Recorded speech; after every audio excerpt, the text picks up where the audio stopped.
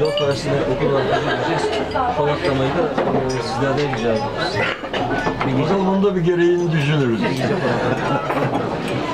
Hep salgınımıza yüklemeyin. Paylaştıralım. paylaşacağız.